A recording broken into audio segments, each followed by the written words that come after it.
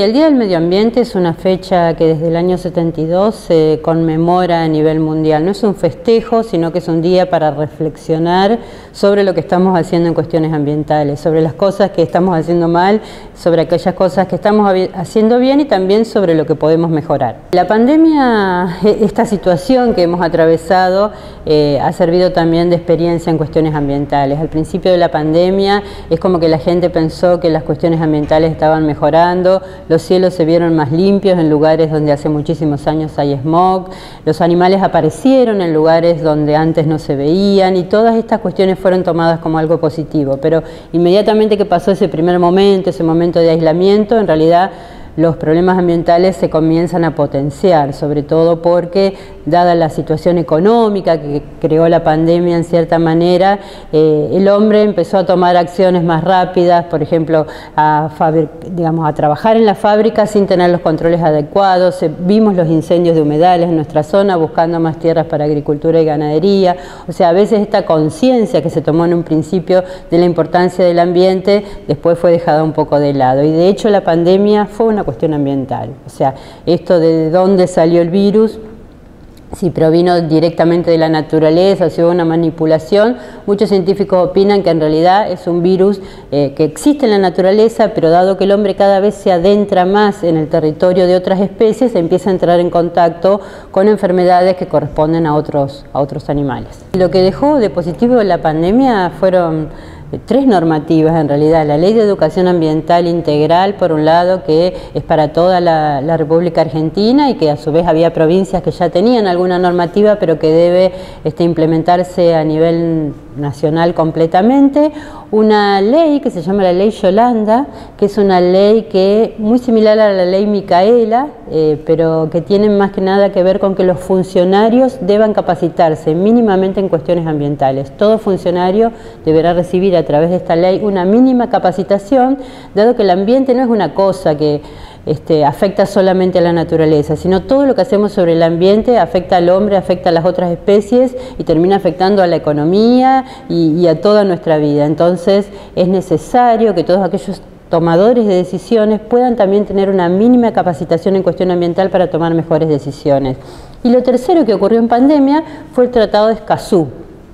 que es un tratado internacional sobre cuestiones ambientales, que le da un poco más de visibilidad este, a la gente común o a los pueblos originarios, depende de la región, en poder opinar sobre aquellas cuestiones que van a afectar a su entorno. Para nosotros, y en especial para esta facultad, que es una facultad que se caracteriza por tener un gran número de profesorados también,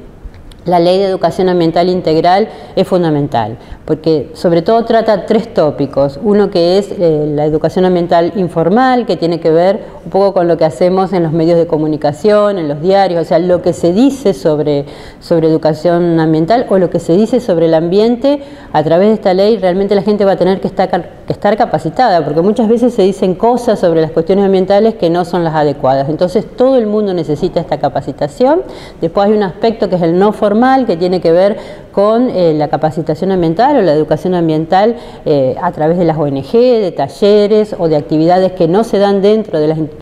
académicas o educativas y por último un poco la que nos, nos abarca más a nosotros que es la educación ambiental formal, aquella que se da desde los niveles más iniciales de, la escolaridad hasta la universidad, que nosotros de hecho hace muchísimos años somos una de las universidades que tuvo en primer lugar educación ambiental como asignatura. En particular la ley es una ley de educación integral, o sea, no apunta a que haya una asignatura que sea educación ambiental, sino que la cuestión ambiental sea parte de todas las asignaturas. Y en función de eso, también a través de una idea de, nuestra decana, en cierta forma, eh, es que estamos tratando de trabajar una de las problemáticas ambientales, digamos, más urgentes en este momento, que es la cuestión del cambio climático, y que por supuesto se trata desde eh, carreras específicas, como son la biología, la biodiversidad, pero tratar de de todas las carreras de la facultad. O sea, tomar este tema del cambio climático y con todos aquellos que tengan algo que decir, provengan de la historia, provengan del periodismo, de la filosofía, de la geografía, de, cualquier asignatura de la matemática, de las letras muchas veces. O sea, todos tenemos una visión de lo que es el ambiente y de cómo se pueden mejorar las cuestiones ambientales. Bueno, el cambio climático es algo que nos afecta a todos, de hecho está hasta marcando una era, que es la era del antropoceno, que es este este concepto que estamos manejando de que el hombre está viviendo en una era realmente marcada por las actividades antrópicas y por, digamos, por un gran impacto del hombre sobre las cuestiones naturales. Bueno, entonces lo que tenemos como idea es trabajar en forma de taller esto del cambio climático desde múltiples visiones, para aportar también como facultad y también como docentes este, a una mirada más integral de la problemática ambiental y en especial del cambio climático.